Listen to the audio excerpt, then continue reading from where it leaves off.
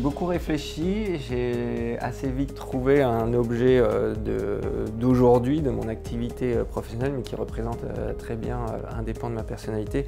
C'est une cassette de vitesse. Il représente pour moi une pièce importante, mais comme beaucoup d'autres dans un vélo. Donc moi, j'aime bien travailler en équipe. C'est également un outil qui permet d'avancer. J'aime bien quand les choses avancent. La dernière chose, qui est la plus importante, c'est l'utilité de, la cassette de vitesse qui va permettre de s'adapter au relief, euh, à la route où on, se trouve, adapter la vitesse à laquelle on roule si on va aller vite, plus lentement. Euh, c'est aussi euh, un, outil qui permet la démultiplication des vitesses et, c'est vraiment cette capacité d'adaptation que j'ai à différents, différents domaines, à différents milieux et à différents objectifs que, que j'ai. Donc ça, ça représente assez bien un pan de ma personnalité.